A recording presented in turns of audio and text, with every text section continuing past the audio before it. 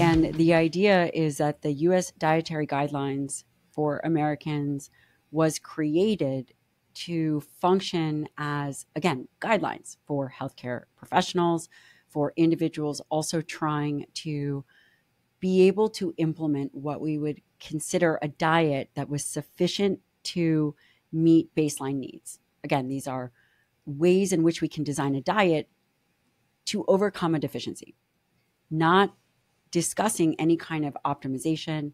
There is not a differentiation for an aging population, which we know you had mentioned muscle protein turnover, um, whole body muscle protein turnover. You guys can listen to one of the episodes that actually I had Dr.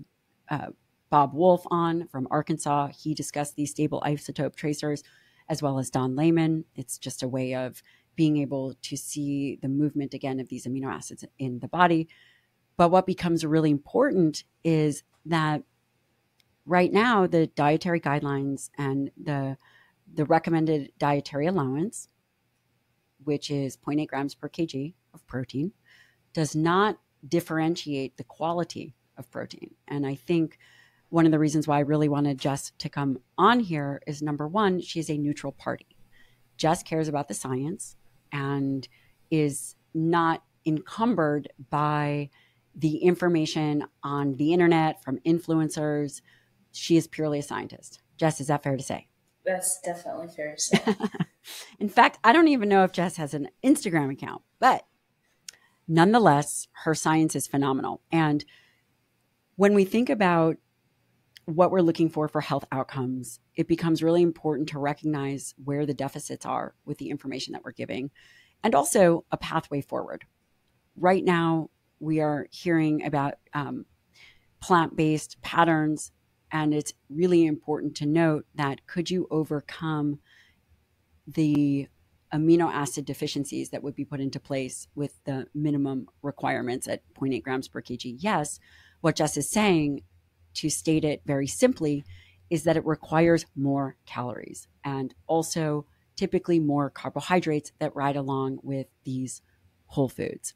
And one thing I would um, even add to that is it takes more understanding from a nutrition education perspective, where really oftentimes a nutritional professional has to be involved to design these these diets so that an individual if they're consuming a lower quality protein, this is more likely a plant based protein, they need to be consuming complementary essential amino acids to achieve, as you said, those basic requirements. And so that's another key point that Dr. Rodriguez brought out in her paper as well that these diets they put together and were able to achieve the modeling with were done by registered dietitians with intimate knowledge of protein quality.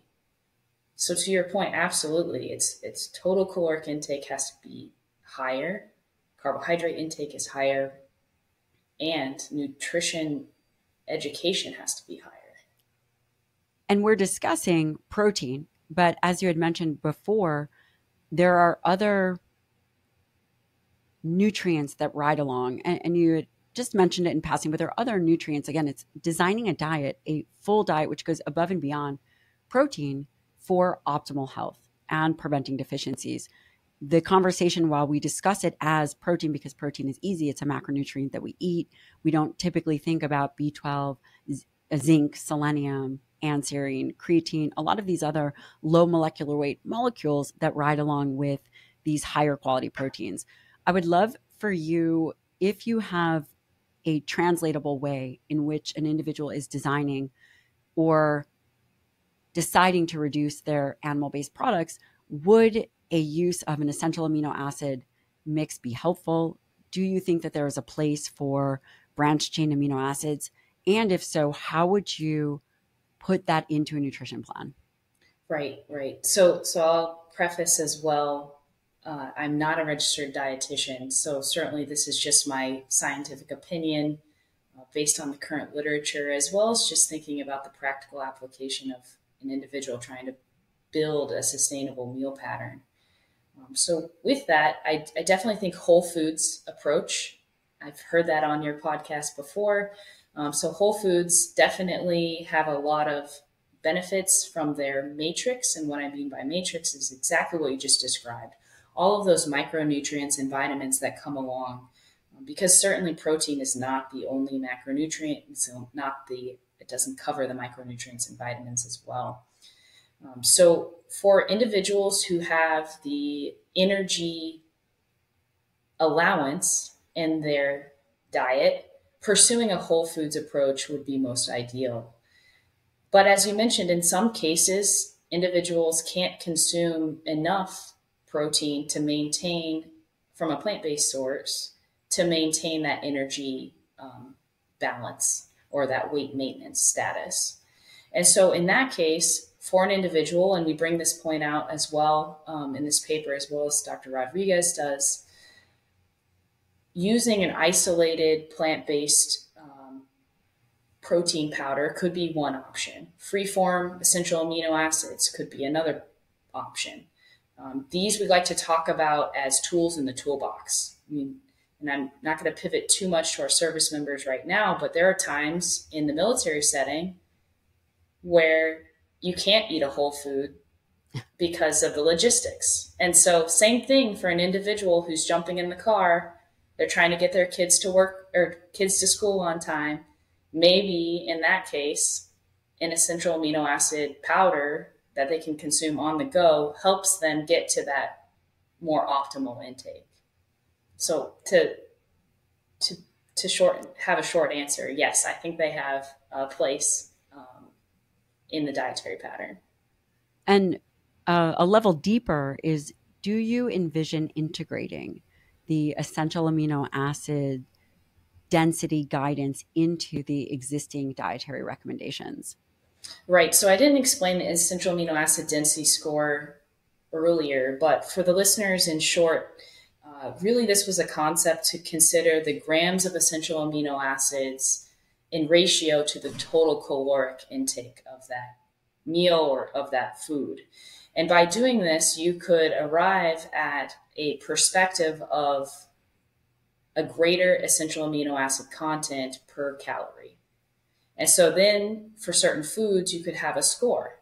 And for example, a score of above 2.2 for an entire meal would score very high, meaning that the essential amino acid ratio to calories is, is very close to even, right? Or and what's the max score?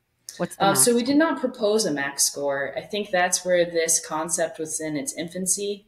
Um, certainly, we're just trying to expand and explore of potential options. You know, we don't want to call out a, a concern without trying to provide uh, one solution as we move forward.